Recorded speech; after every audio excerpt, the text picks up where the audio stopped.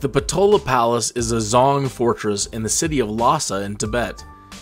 It was the winter palace of the Dalai Lamas from 1649 to 1959. It's been a museum since then, and it's a World Heritage Site since 1994.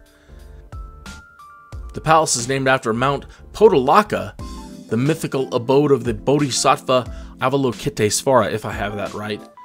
The fifth Dalai Lama started its construction in 1645 after one of his spiritual advisors, Kongtrul Chopal, pointed out that the site was ideal as a seat of government.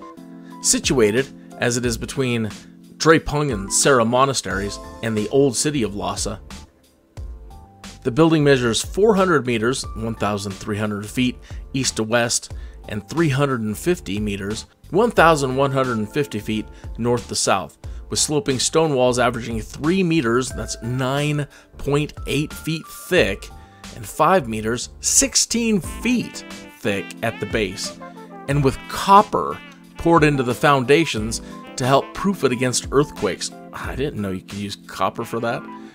13 stories of buildings containing over 1,000 rooms, 10,000 shrines, and about 200,000 statues soar 117 meters, 384 feet, on top of Marpo Ri, the Red Hill, rising more than 300 meters, 980 feet, in total above the valley floor.